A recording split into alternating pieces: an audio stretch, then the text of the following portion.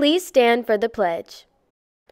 I pledge allegiance to the flag of the United States of America and to the republic for which it stands, one nation, under God, indivisible, with liberty and justice for all.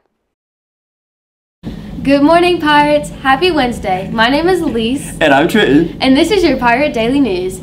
Today is the second round of the round robin basketball tournament. Come support your Pirates. Students reminder, today is the ACT Boot Camp Prep. Make sure you be there.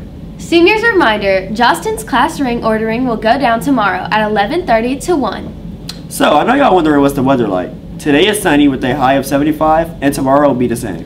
Today for lunch, we actually have no idea because it's not published yet. So your guess will be as good as ours. But I'm hoping it's like hot wings or something, you know, something good. But are you ready for a trivia question? Yeah, what's the trivia? So, what is the closest planet to the sun? That's a good question. One more time. What planet is closest to the sun?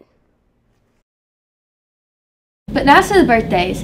Happy birthday to Riley Fitzgerald, Autumn Handling, and Tyler McDonald. Happy birthday, guys. But back to that trivia question. So, what is the closest planet to the sun? The answer is Mercury. Did you get it right? Let us know. Goodbye, guys. Enjoy your day and have a great week. Hump day! What's up, PCHS? Make sure you follow our Instagram at PC underscore Hook TV for updates and giveaways and send in any pictures to be featured on our show.